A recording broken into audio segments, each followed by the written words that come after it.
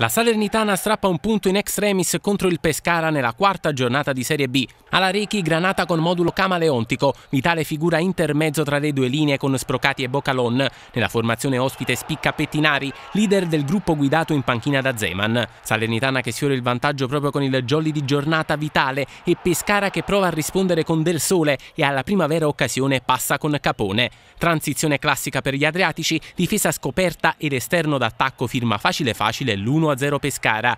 Salernitana sotto all'intervallo con Bolini pensieroso. Nella ripresa su sponda aerea Zito svirgola con il mancino e l'occasione del pari viene sprecata da Sprocati, salvata sulla linea di porta. Occasione sciupata e raddoppio del Delfino, tutto troppo semplice anche per Pettinari che firma sotto misura il comodissimo 2-0. Difesa completamente aperta e Salernitana sotto alla Rechi ma che non molla. Sprocati si rifà con gli interessi girando con il destro una fantastica conclusione a baciare il palo. Granata che accorciano le distanze e sognano il pari culato per tutto il finale e pescato da Minala. Zampata dell'ex Bari e Lazio per l'esplosione della Rechi e per il terzo punto conquistato dagli uomini di Bollini già lanciati verso la trasferta di Vercelli.